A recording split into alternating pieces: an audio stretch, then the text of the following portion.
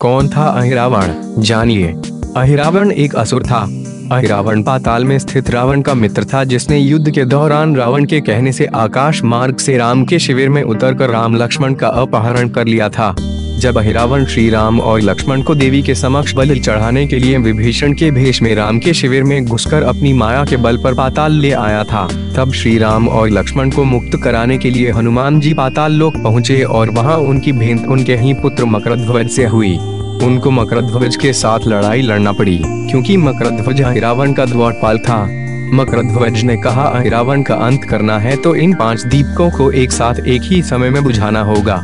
यह रहस्य ज्ञात होते ही हनुमान जी ने पंचमुखी हनुमान का रूप धारण किया। उत्तर दिशा में वराह मुख दक्षिण दिशा में नरसिंह मुख पश्चिम में गरुड़ मुख आकाश की ओर हयग्रीव मुख एवं पूर्व दिशा में हनुमान मुख इन पाँच मुखों को धारण कर उन्होंने एक साथ सारे दीपकों को बुझाकर अहिरावण का अंत किया और श्री राम लक्ष्मण को मुक्त किया। हनुमान जी ने अहिरावण का वध कर प्रभु श्री राम और लक्ष्मण को मुक्त कराया और मकर ध्वज को पाताल लोक का राजा नियुक्त करते हुए उसे धर्म के मार्ग पर चलने की प्रेरणा दी। कहा था पाताल लोक? इस भूभाग को प्राचीन काल में प्रमुख रूप से तीन भागों में बांटा गया था इंद्रलोक पृथ्वी लोक और पाताल लोक। इंद्रलोक, हिमालय और उसके आसपास का क्षेत्र तथा आसमान तक। पृथ्वी लोक अर्थात जहाँ भी जल, जंगल और समतल भूमि रहने लायक है और पाताल लोक अर्थात रेगिस्तान और समुद्र के किनारे के अलावा समुद्र के अंदर के लोक। आज जिसे हम खाड़ी कहते हैं, कभी वहाँ पाताल हुआ करता था। इसी तरह के समुद्र से घिरे इलाके को पाताल कहा जाता था। पाताल के कई प्रकार के विभाजन थे। धरती पर ही सात पातालों का वर्णन पुराणों में मिलता है। ये सात पाताल है अतल वितल सुतल तलातल, महातल, रसातल और पाताल। इनमें से प्रत्येक की लंबाई चौड़ाई दस दस हज़ार योजन की बताई गई है। ये भूमि के बिल भी एक प्रकार के पाताल के स्वर्ग ही हैं। इनमें स्वर्ग से भी अधिक विषय भोग, ऐश्वर्य, आनंद, संतान, सुख और धन संपत्ति है।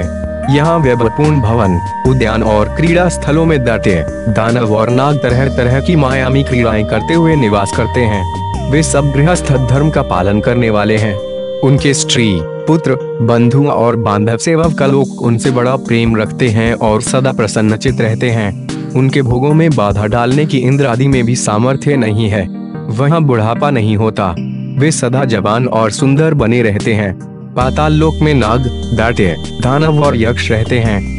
राजा बाली को भगवान विष्णु ने पाताल के सुतल लोक का राजा बनाया है और वे तब तक राज करेगा। जब तक कि कलयुग का अंत नहीं हो जाता। राज करने के लिए किसी स्थूल शरीर की ज़रूरत नहीं होती। सूक्ष्म शरीर से भी काम किया जा सकता है। पुराणों के अनुसार राजा बलि अभी भी जीवित हैं और साल में एक बार पृथ्वी पर आते हैं। प्रारंभिक काल में केरल के महाबलीपुरम में उनका निवास स्थान था।